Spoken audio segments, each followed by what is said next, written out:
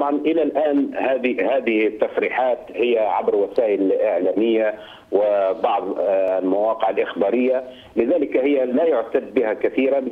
نظرا إن إحنا نحن عندما نتحدث عن تقارير استخباراتية لا تأتي عبر وسائل الإعلام. ربما هي تستخدم كأداة جس النبض. ربما حتى يكون هنالك قراءة للمشهد وخاصة نحن نتحدث عن الوضع الليبي في ظل الانقسام العسكري والسياسي وهنالك بعثة الأمم المتحدة وهنالك مجلس الأمن ولا زالت ليبيا تحت الفصل السابع قرار 71 و 73 حظر السلاح حظر الطيران حماية المدنيين.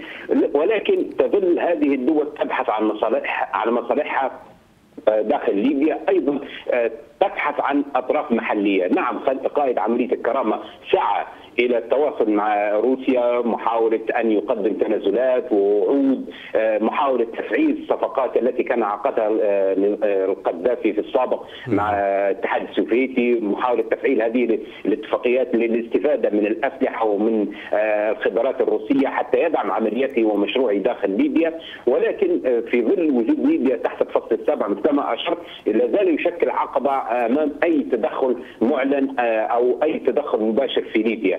طيب سيد عبد الكافي نعم. تمام. سيد عبد الكافي ال ال هناك ربما تصريحات سابقة من مسؤولين فرنسيين بشأن وجود عسكريين بالفعل على الأراضي الليبية، هل تعتقد أن أو هل ترى أن ما أوردته الصحيفة يتماشى مع هذه التصريحات وبالتالي الوجود الروسي هو وجود ربما لا مفر منه؟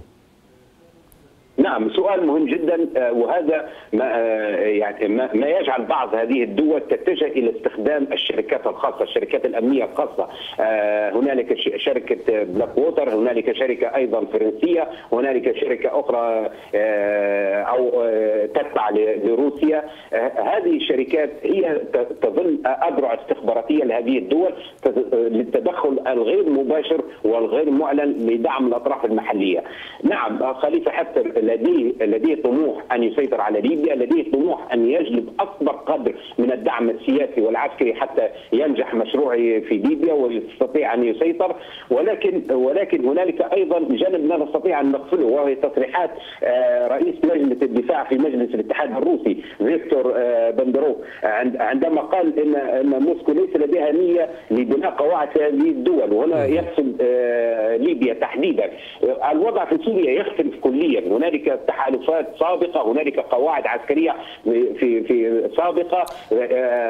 أيضا سوريا تعتبر من دول الطوق مع مع إسرائيل. فهنالك وضع آخر. ولكن لا ننكر أيضا رغبة التواجد الروسي في منطقة في حوض البحر الابيض المتوسط تحديدا على شواطئ أوروبا في ليبيا. وهي تسعى إلى ذلك لوجود ولكن في ظل وجود دولة مستقرة وجود حالي كيان سياسي يستطيع أن يوحد الدولة طيب سيد عبد تستطيع روسيا أن تدخل. طيب نعم. سيد عادل أختم معك بهذا السؤال. إذا حضرتك ترى أن هذه الصحيفة كلامه في النهاية هو مجرد كلام من قبل وسائل الإعلام لا يعتد به وخاصة أن هي يعني أوردت كلام عن مسؤول في الاستخبارات البريطانية. يعني مع ذلك أنت ترى أن هذا الكلام قد لا, قيمة له هو مجرد كلام وسيلة إعلامية.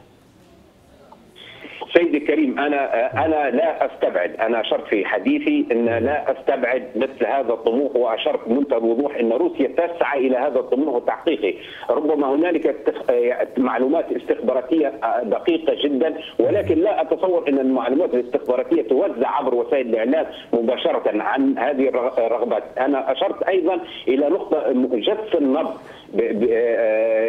سواء كان في ليبيا سواء كان للدول التي هي متداخلة في ليبيا، الآن لدينا افريقيا في ليبيا، لدينا التواجد الإيطالي في ليبيا، التواجد الفرنسي، آه هنالك عدة أطراف دولية موجودة في ليبيا، روسيا تريد أن توجد لها حليف محلي آه وهو خليفة حفتر، وهذا تمثل في الزيارة السابقة لحاملة الطائرات الروسية واستقبالها لخليفة حفتر، لا أنكر ولا أستبعد آه فرضية أن روسيا تسعى إلى هذا الأمر، ولكن أتصور أتصور أن هذه الدول تريد كيان سياسي موحد توحد في ليبيا. نعم تحاول أن تدعم خليفة حفتر وتتواجد عن طريق في حالة أن سيطر على ليبيا واستطاع أن يحكم ليبيا تسعى هنا. ولكن في ظل الانقسام الذي أصبح يشكل خطورة على أي طرف يدعم طرف بعينه داخل ليبيا سواء المنطقة الغربية أو المنطقة طيب. الشرقية طيب. يكون هنالك تواجد سيشكل خطور وتهديد على هذا التواجد. أشكرك شكرا جزيلا سيد عادل عبد الكافي الخبير العسكري كنت معي عبر الهاتف من طرابلس. Thank you.